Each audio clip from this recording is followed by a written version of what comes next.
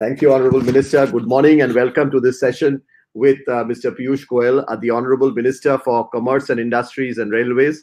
Honorable Minister, thank you very much for taking time out of your very, very, very busy schedule at this point in time. We know, and I, and probably you, uh, you are one um, who would hit, be hitting record numbers on the number of VCs that you do to keep uh, keep us engaged in terms of being uh, listening to us and hearing us uh, different communities from the industry. You are always in touch besides your own uh, ministerial colleagues and other meetings. But very, I, I, must put on record the number of consultations that you do with the with the industry is is really phenomenal and gives us so much of motivation in these very difficult times over the last 90 days.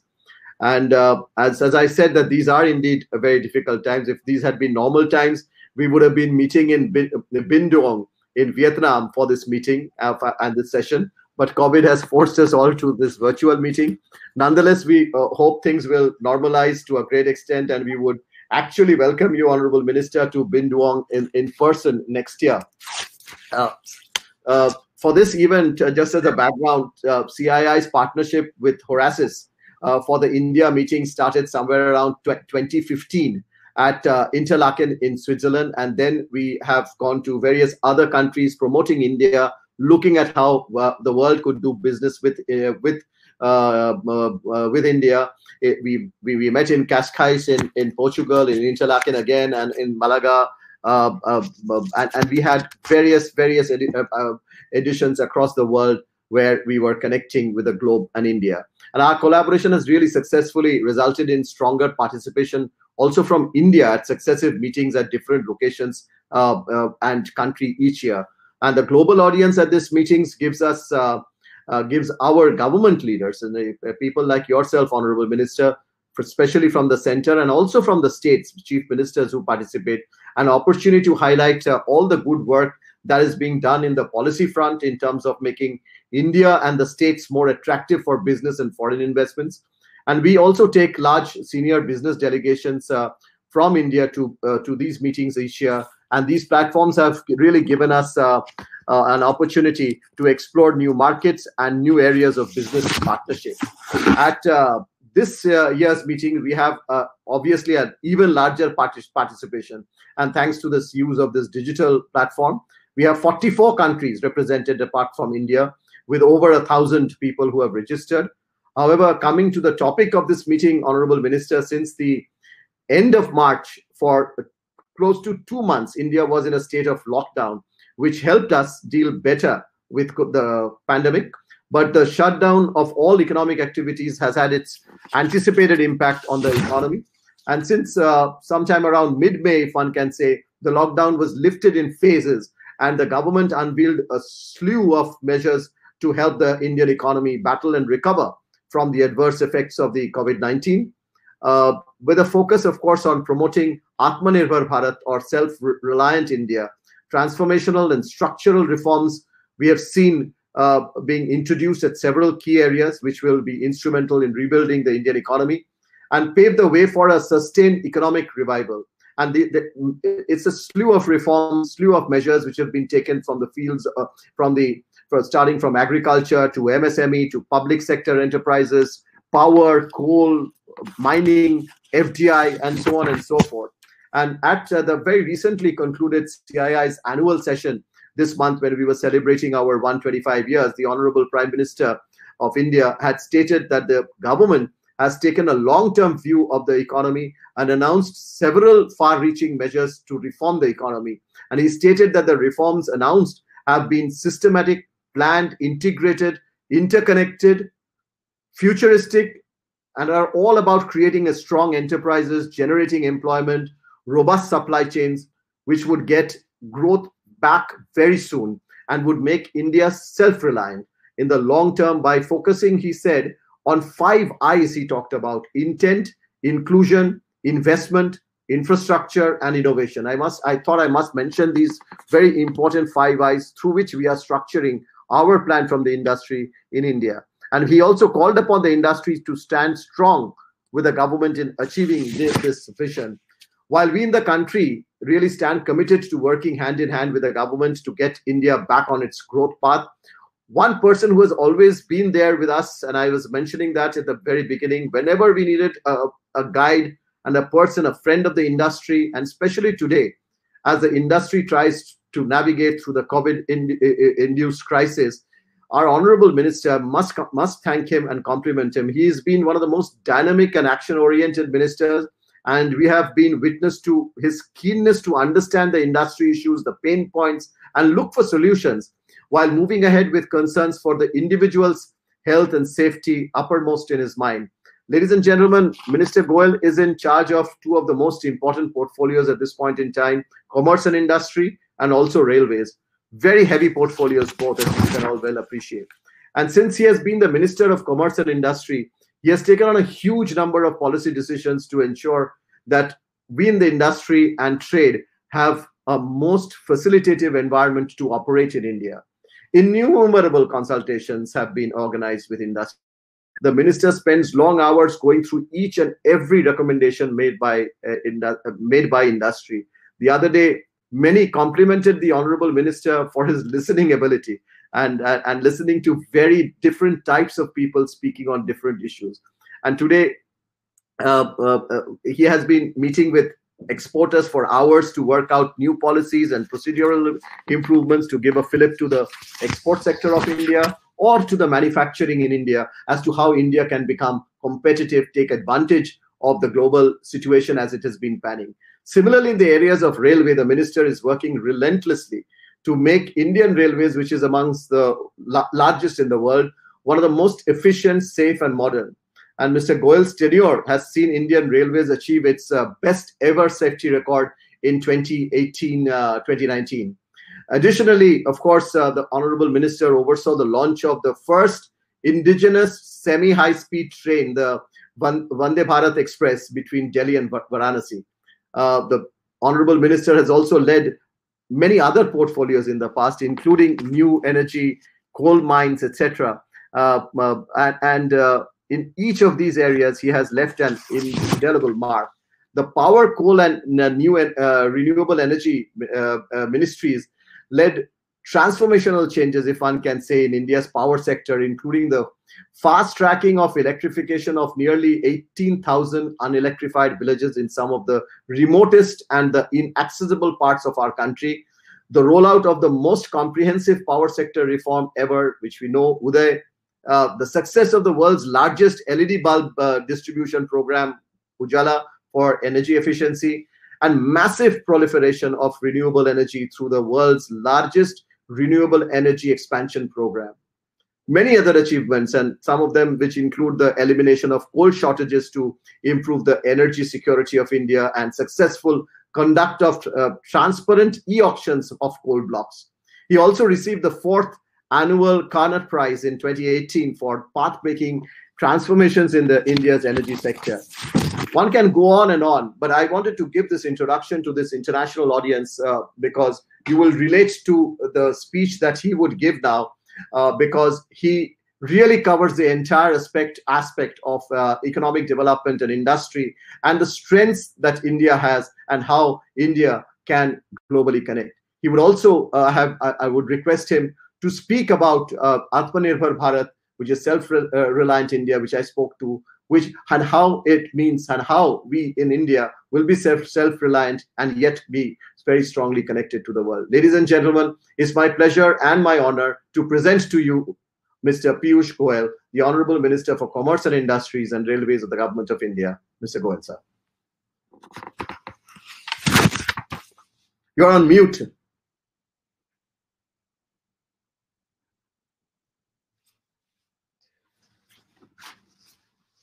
Even after so many VCs, you still forget. Huh? Thank you very much, Chandrajit. Namaste to all the participants. Greetings to all the dignitaries. Thank you very much uh, for the effort of Horasis and CII to conduct this event, even in such trying times. Use the virtual networks to initiate this very important discussion on how we in India should open up for business again. In fact, uh, I have always believed that such interactions and flow of ideas from all directions are always helpful for all of us in government, policymakers, and for business, working together in partnership to revive this mood, the sentiment, and actual business on the ground much faster. In fact, yesterday, all of us celebrated Father's Day. And I must confess, I took the evening off after my last VC, where we were also discussing, by the way, manufacturing, domestic shipping industry. We were discussing what we can do to improve the logistics cost, bring down one detriment to domestic manufacturing, and encourage more participation of the private sector in the logistics business. So, being a Sunday and Father's Day, I promised my children who are both here only a, for a few more days with me. And I tell you what a joy it was to spend the evening with the children. But at the same time, it also reminds you of what the last note by the father of the nation, Mahatma Gandhi, in 1948 had said, expressing his very deep social thinking. And I would like to quote Recall the face of the poorest and weakest man you have seen, and ask yourself if this step you contemplate is going to be of any use to them. I think no better day than Father's Day to reflect on what the father of the nation left behind for us to think of. And if you look at our track record of six years before I come to the COVID and post COVID world, the foremost priority of the government over 2014 to 2020 has been to strengthen the lives of the poor, of the laborers, of our farmers, of our daily wage earners, and we also recognize that it's government, business, social organizers, think tanks, associations representing different sectors of society. When we all come together, that's when we can make a difference to the lives of the people. If you look at the structural reforms of the last six years, be it electrification going to every single home in the country, 100 million toilets being set up so that nobody is ever deprived of good sanitation facilities at their home and workplace. The Pradhan Mantri Awas Yojana, nearly 20 million homes being provided to the poor and the lower middle class to give them a better environment in their homes. The Jan Dhan Yojana, by which financial inclusion was taken to another level altogether. 380 million accounts opened for those who were on the margins, deprived of uh, even a bank account for almost 65, 70 years after independence. The Mudra Yojana, providing 240 million small loans, loans very often as low as uh, 500 or $1,000 with a maximum of $7,000 in it, uh, or rather with a maximum of $14,000 but an average ticket size of about 1,500 or $2,000, providing 220 million farmers not only with uh, a soil health card, but also ensuring that they get a different, a, a variety of support systems, including the direct benefit transfer of about a hundred dollars to each of the farmers every year. A very small gesture to appreciate the good work that they have done. The Ujjwala Yojana taking 80 million poor families out of out of uh, the traditional cooking mediums and providing them with good quality cooking gas at their homes. And finally, the Ayushman Bharat Yojana, where 500 million Indians were provided the comfort of free healthcare. And why I mentioned all of this, ladies and gentlemen, is for you to reflect how all of these are today helping us in the comeback as we unlock India from the very, very severe pandemic which has affected the entire world, notwithstanding its severe impact on India. Of course, the lockdown was essential at that point of time. India was very ill prepared over, eh, despite 70 years of independent India. We were very ill prepared in terms of our ability to fight this pandemic. At that stage, we had barely a thousand testing capacity a day, thousand a day. Today, we are 125,000 a day. We had barely a few thousand personal protective equipment, PPEs. Today, we manufacture 300,000 every single day. At that point of time, we would have run out of oxygen, would have run out of ICU beds, would have would not have had enough isolation wards, would not have been able to provide for enough masks so that the entire country can be saved. We were worried about potential medicine availability in terms of even basic paracetamol, or at that point of time.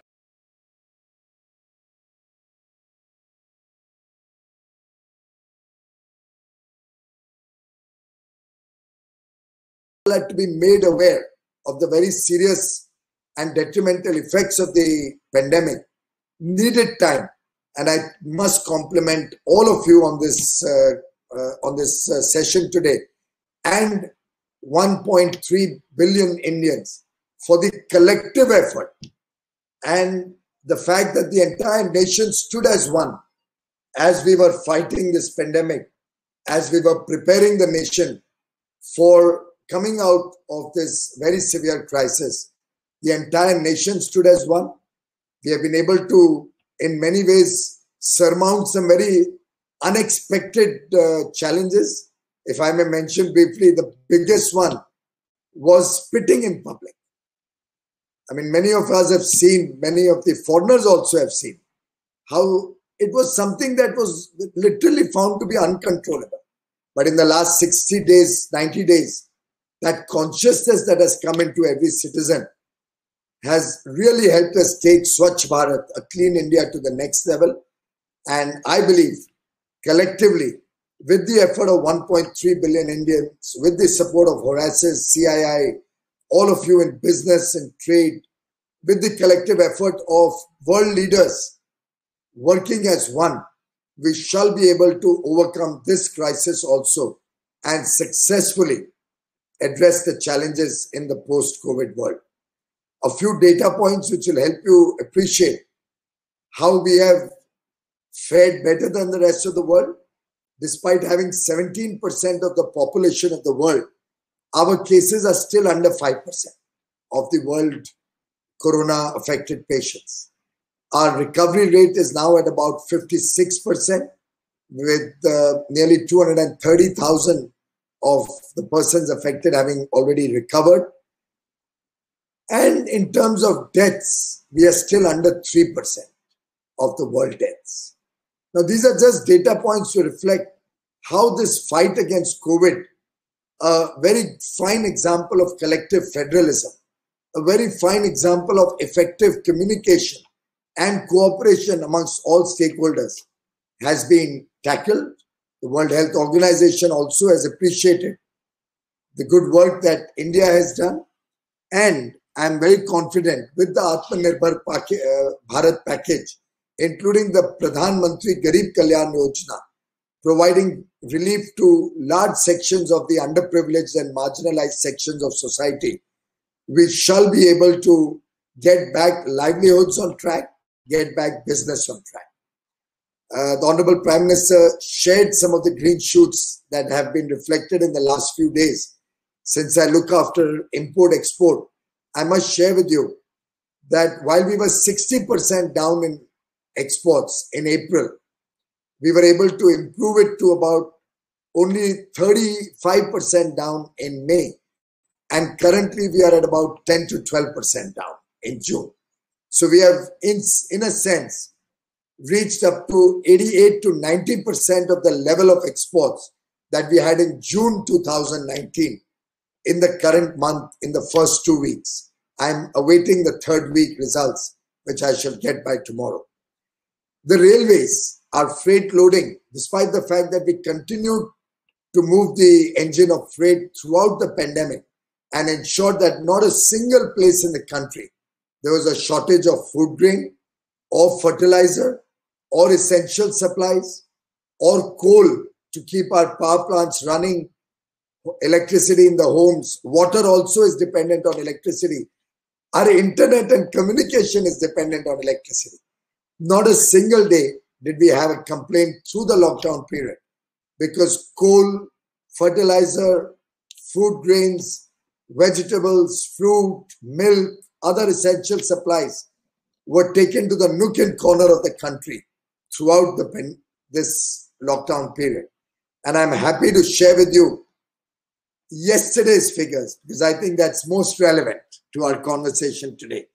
Yesterday, we were able to move about 95% of the freight that we did on 21st of June 2019. So we are just 5% down what it was in June on June 21st, 2019.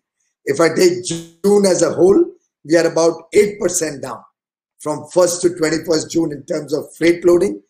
I believe by July, we should be at par. And I'm looking for growth from uh, August, September onwards.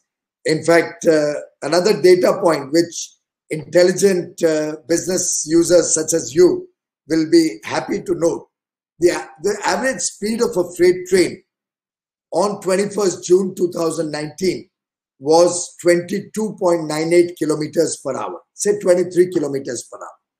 Yesterday, we clocked 41.74 kilometers per hour. Now, obviously, all the passenger trains are not running, so we do get a free run, but we are using this time intelligently to complete long awaited maintenance works. We are using this time to interconnect many lines which needed long hours of shutdown. And we are also using this time to rewrite the timetable of the railways more intelligently, bringing freight trains and parcel trains into the timetable so that we can assure businesses committed delivery over long distances in a short period of time, thereby unclogging the railway networks and making sure that we can move much larger volumes through the railway. And I invite all of you to expand your engagement with the railways. Give us some good ideas how we can double the traffic on the or the freight traffic on the railways. Given that my target is to double the average uh, speed of the freight train, obviously I'll open up new opportunities to expand my freight uh, basket. And as I expand the freight basket, I'll be able to bring down the freight rates thereby making logistics more competitive in the country. I'm sharing all of this with you, ladies and gentlemen, only to tell you that we have used this time intelligently to improve ourselves, prepare ourselves for a better tomorrow. Now, there is sometimes this talk, and very eminent economists and some very, very prominent faces on television often are articulating their vision of distributing thousands of dollars and billions of dollars as a short term measure and uh, so called s- supporting demand. They're talking of larger packages to be effectively distributed. I do wish that intelligent people such as you on this call will understand that India has to use this crisis to prepare ourselves for a sustainable future. You don't blow up limited resources in the short run and then leave your flanks open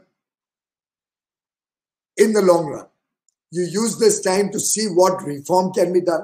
You use this time to see improvements. Just as in business, whenever the times are tough, that's when you look at extraordinary performance. That's when the tough people show their mettle. What do you do when businesses are going through a downtime? You start improving productivity. You look at wasteful expenditure. You start tightening the belt. You start seeing at more better ways of doing the same thing. You monitor each process better. You expect the laggards to go out and the performers to demonstrate better performance. You look at your critical paths and see what you need to do to improve scale, productivity, Sometimes you expand in a downturn at lower cost to gain when the demand gets back. And it's foolish, foolish of anybody to think that the heavens have fallen on us or the skies have fallen on us. I mean, if you recall Asterix and Obelix in the good old uh, comic book series, the, the king was always concerned that the sky is going to fall on his head. But the optimist that Asterix was knew that that is not going to happen and he was always on the move, coming up with new and innovative solutions. And that's exactly what Prime Minister Modi is doing, making effective use of this time while on the one hand, he prepares the nation for tomorrow to fight the COVID pandemic, he's continuously concerned what India needs to do. So PPEs did not increase to such large level of production or ventilators did not come up in such large measure in such short time or we have not been able to expand our oxygen availability to hospitals or our ICU beds or our testing facilities just out of the blues. It has called for relentless planning. The Honorable Prime Minister always thinks four steps ahead. He's not looking at current data and statistics. He's looking at what is the potential future.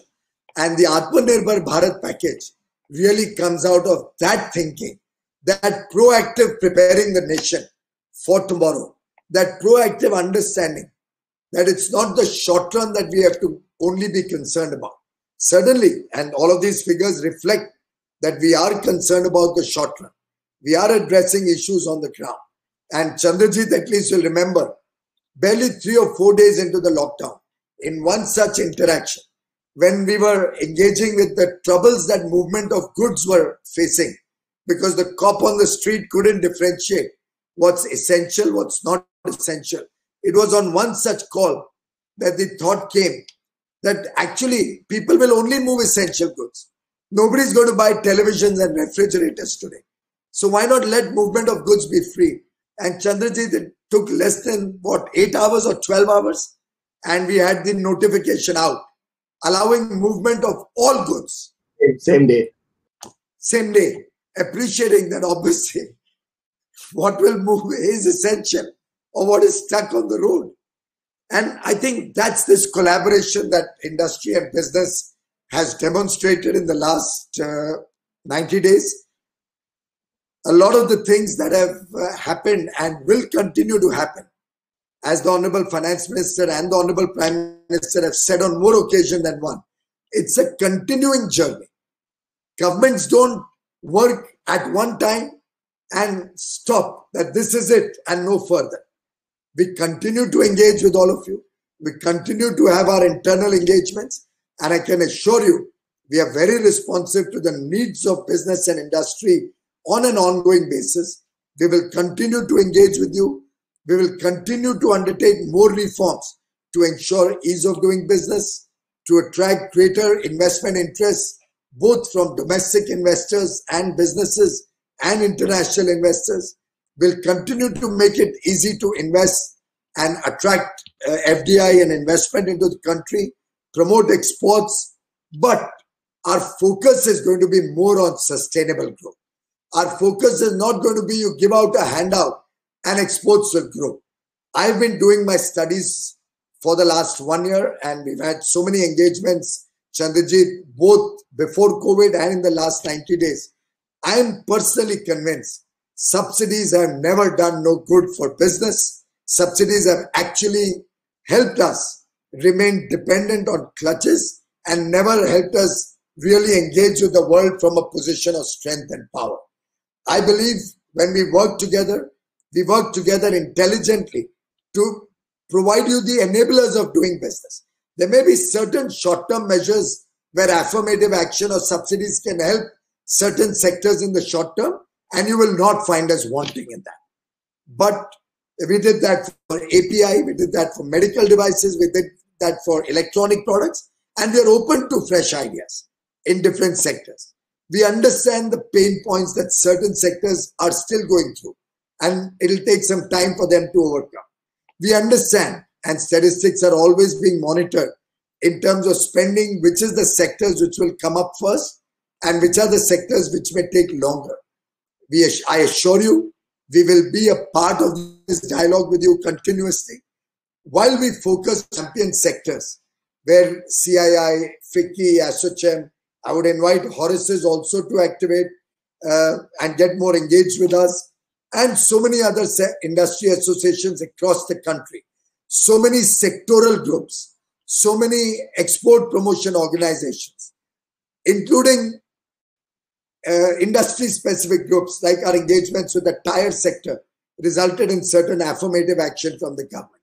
Our engagement with the agro food processing sector helped us take such game changing and transformational reforms in the agriculture sector. Similarly, the work we are doing on electric vehicles, on chemicals and petrochemicals, and uh, on textiles, auto components, uh, toys, sports goods, television sets, uh, solar manufacturing in India, IC, electric integrated circuit manufacturing in India. There's a vast pool of opportunities waiting to happen in India. It's for you and us to work together, but it's finally for you in business to grab the opportunity.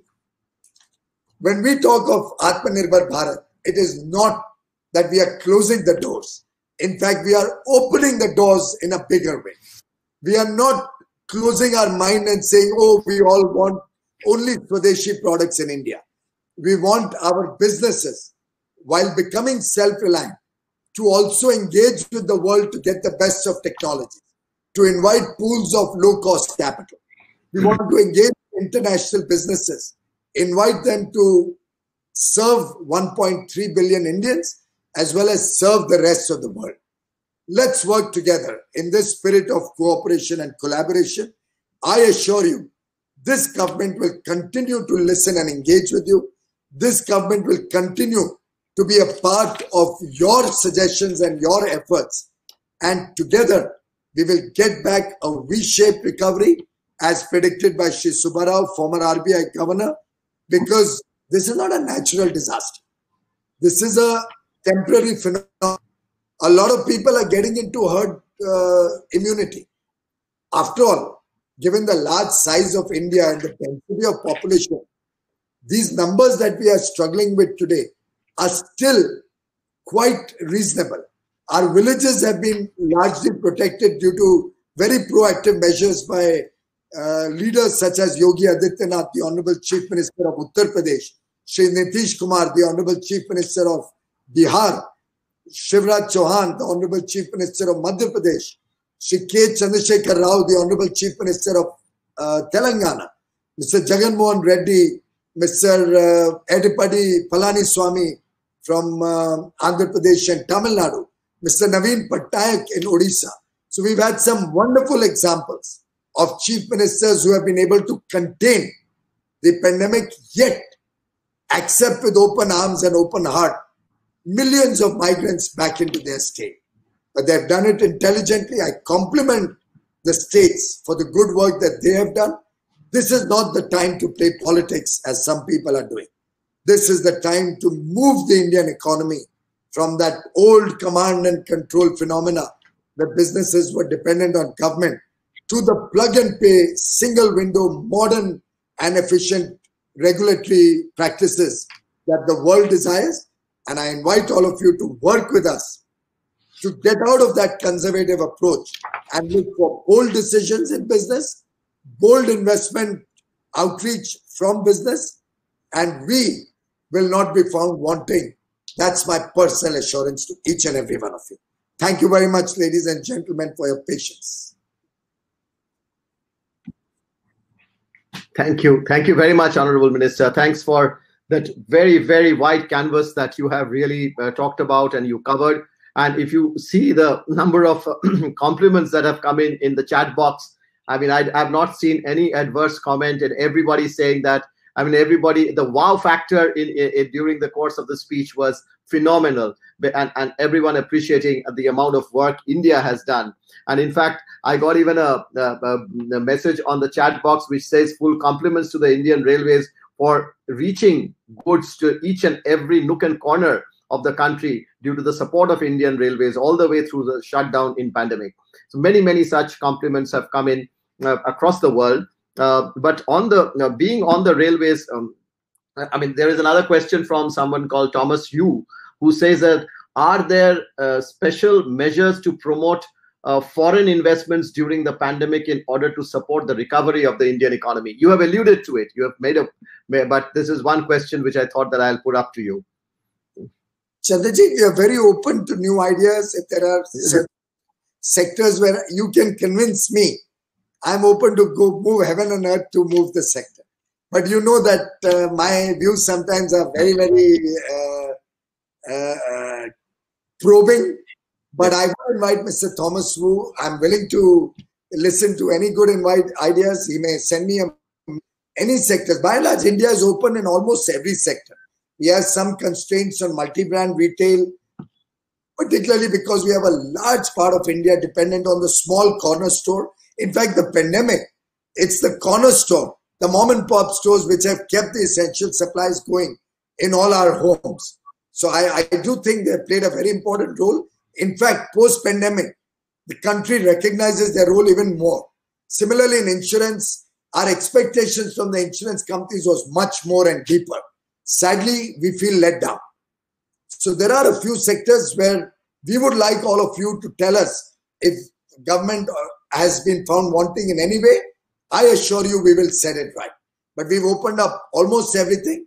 But we do have certain security concerns. We have to balance our security concerns and the opening up of the economy.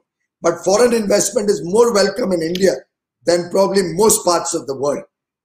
But we certainly have to also take precaution that we don't get the wrong type of capital which is opportunistic and which is not really for the good of the nation. Eh, with your permission, if I can put up a couple of more questions uh, for, for, for your consideration, please. You know, there's one interesting one which has come from the Silicon Valley. Again, you have actually, uh, by and large, answered this. Make in India was, in my opinion, a very good initiative from the government of India. What can be done to accelerate the Make in India implementation given the disruptions created by COVID? That's from uh, uh, from Mr. Zushi from Silicon Valley. Thank you. Good question. I think uh, just like I mentioned about the railways, that we use this time to improve our freight competitiveness. Hopefully, I can make freight uh, cheaper going forward. Similarly, in industry, I think a lot of people have not appreciated the focus that the government is giving to high quality standards, to improving the scale of uh, consumption in the country, and the support that we are willing to give in areas where there is a lot of uh, a lot of uh, I would say substandard and uh, poor quality products coming into the country. India has finally evolved and has made up its mind that we are going to only accept good quality products. And even within the country, we are making an effort to improve the quality standards of our MSMEs. I think business and government together can really bring back that quality culture into the country, can bring back that consciousness in our consumers that uh, India also makes good quality products. I have often on uh, many engagements told my officers that India should be recognized, just like Germany is for its precision tools or the Swiss clocks for their uh, precise time. We all have to work together to get that consciousness of quality in the country. I think that one single step, if all of us can collectively decide that I will not buy substandard material, and secondly, a little spirit to promote Make in India, that if a particular product is one or two percent, little bit here and there, uh, costlier than an imported product. Probably even a little more than that, costlier than an imported product. Very often, it's sensible to buy Indian because, in the short run, the large international companies can dump material at low prices, at very competitive prices. But in the long run, if Indian manufacturing doesn't survive or is not able to meet this competition, in the long run, we will have no options but to pay terrible prices for the same products. And we've seen that happen in certain sectors. I won't speak about it uh, right now. But in several sectors, we've seen India suffer the consequences of not having a strong uh, Indian manufacturing base. So one very interesting question, uh, which has also come up and would really like to put up to you, is on on reforms. And the central government has uh, done a, a, a, lot of reforms, and it has really uh, uh, fulfilled most of the promises that it had made to India in terms of taking reforms ahead. The the story of reforms is now really with the states of India and uh, uh, issues like land, labor, all of them also come under the states of India. What how, what is central government doing, and what would the central government do to convince the state now to carry forward these reforms at their level, which is most uh, significant at this point in time? I think states also realize that if they want to increase their revenue, they want to provide jobs to their people in their state, they will have to engage with industry and be more contemporary in their thinking. I'm happy to share with you that nearly 15 or 17 states have done some game changing labor reforms in the last month or so. Game changing labor reforms. A lot of it will now come out in public domain in the next few days. Now, what we are trying to do is engaging with the states in a spirit of competition. We are talking to states that look, let's say, Chandrajit, you want to come in and make these phones in India. We are talk, offering all the states that look, Chandrajit wants to come in and make these phones in India. Who's willing to give the best deal and the fastest opportunity? So we found that, let's say, when we were promoting medical devices, we found Telangana really go proactive and capture that business because he offered the best terms to that industry. And he's been able to build up a whole park to support medical devices in Telangana. The moment we said we're going to promote medic uh, APIs, in India. I had the chief minister of a small state like Himachal Pradesh call me up and say, Piyush, we want to have the uh, medical uh, uh, park, the cluster that you're developing in Himachal Pradesh. We already have a pharma industry there. We want to expand that. And I'll give every support that they require. And I think it was followed with a letter within the next uh, four or five hours. So my ministry is working with Himachal. So we have brought in the challenge mode in working with the states. And I think states which don't uh, support the center in its initiatives for regulatory certainty, safe and stable policies, and modern outlook towards business, a more business friendly environment, will remain left behind. Their people will lose opportunities and work. They'll start losing revenues. And that realization is dawning in all the states. So you saw Maharashtra, even in the midst of pandemic, having the magnetic Maharashtra uh, outreach. So it's reflective that the states are also coming forward in this.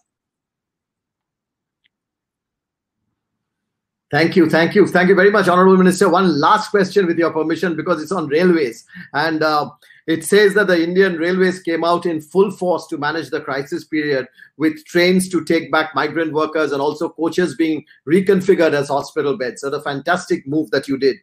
What role did the private sector play in this endeavor, and how can such a partnership in railway manufacturing and other railway services be expanded?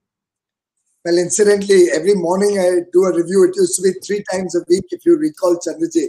So as we were speaking, I was clearing my desk also. Yes, yes. As of yesterday, we have moved 4,553 Shramik special trains to move the migrants back. But the number is continuously reducing. So from 31st of May till 21st June, it's come down to double digit. And yesterday only three trains. So the demand is over. We've sorted out all those who wanted to go back home. We've started 230 regular trains also. Regular trains on the regular route. 30 of them are high-speed air-conditioned Rajdhani trains. 200 are uh, the trains which the common man uses, non-AC largely. And uh, those trains are also now uh, gradually picking up traction. I must confess that they are not going full most cases. People are still hesitant and resisting travel. So we have that uh, situation. But uh, I think the railway people, after all, don't forget, they also have families. They also know the risks of corona. They also are concerned about health and safety. not one person out of my 1.25 uh, million people, not one employee ever said no to a single job. We use this time to complete long pending maintenance works. We use this time to improve on uh, facilities, infrastructure facilities, and we kept the freight trains running and moved the migrants back.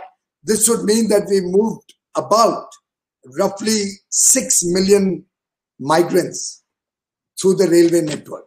Over 6 million. Actually, this would be close to 7.5 million migrants have been moved by the train so far. 7.5 million. And I think uh, my compliments to the 1.25 million in, uh, railway employees, their families for their support, and also to several stakeholders in the private sector who also helped us in keeping this going. After all, railways works with a lot of support from the private sector.